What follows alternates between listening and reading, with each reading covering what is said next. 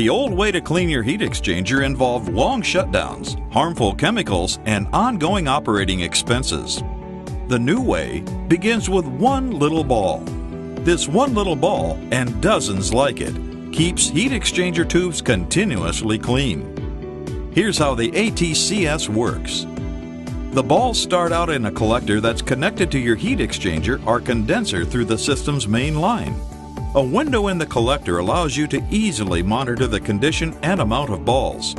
The ATCS includes a PLC controlled pump, which forces water through the pipes and into the collector, where the system periodically injects all of the balls into the inlet pipe at the same time.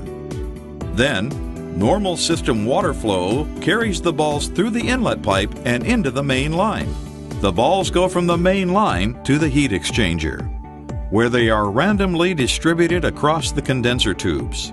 The balls flow through the tubes at normal system flow velocity, and as the water pushes the balls through the pipes, they clean off residue, deposits, and buildup before it has a chance to take hold.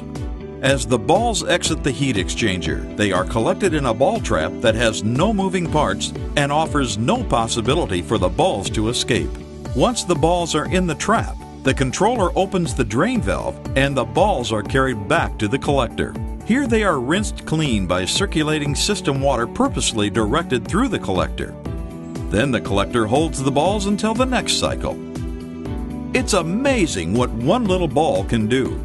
It saves energy, eliminates costly downtime, extends the life of your capital equipment, and optimizes heat transfer performance and it often pays for itself in less than two years. The ATCS from CQM Systems. See the clear savings for yourself.